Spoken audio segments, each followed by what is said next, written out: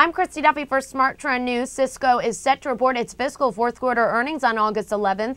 And Barclays analyst Jeff Kvaal believes that the company is likely to deliver at least in line with consensus of $10.9 billion in sales and 42 cents EPS. Barclays also believes that Cisco can guide for normal first quarter seasonality of 20 to 24 percent year over year growth, but also said management could end up being a bit more conservative. Either way, the firm believes it should provide a relief rally for Cisco shares.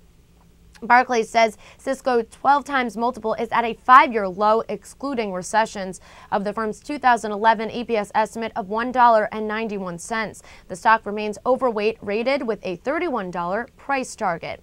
SmarTrend alerted subscribers to take profits in shares of Cisco on May 6 when the stock was at a price of $24.94. Since then, the stock has fallen about eight and a third percent. We're watching for any developments that would result in a change in trend and will alert subscribers to any potential new entry point.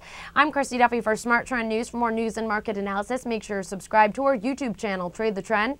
Also, check our website, tradethetrend.com, for more on our SmarTrend alert system.